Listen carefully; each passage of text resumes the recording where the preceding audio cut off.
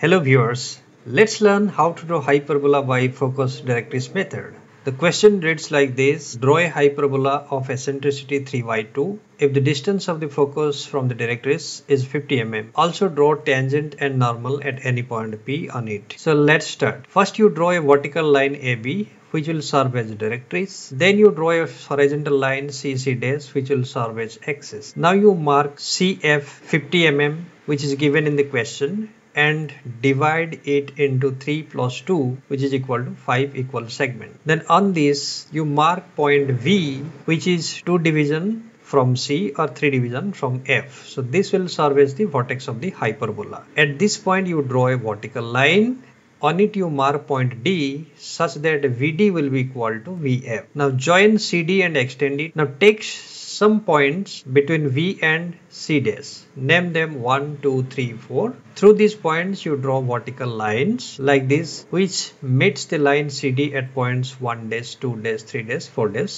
etc. Now you have to extend these perpendicular lines through point 1, 2, 3 dash in the lower side also. Now take 1, 1 dash as the radius and F as the center. Cut the line 1, 1 dash at P1. Similarly, you take 2, 2 dash as radius and F as center. Cut the line 2, 2 dash at P2. Repeat the same procedure for the lines passing through point 3 and point 4 to get point P3 and P4. Similarly, repeat the same procedure in the downside so that you will get points P1 dash, P2 dash, P3 dash, P4 dash.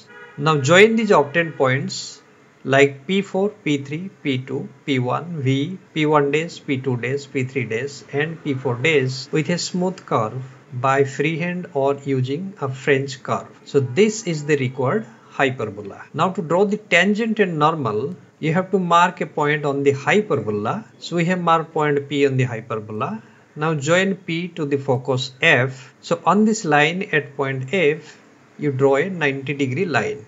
So this intersect with the directrix AB at point T. So from there you connect a line with P and extend it. So this will serve as tangent. Name it TT. Now making a line perpendicular to this TT at point P, you draw another line and name it NN. So this is the required normal. If you like this video, then consider subscribing the channel and give it a thumbs up.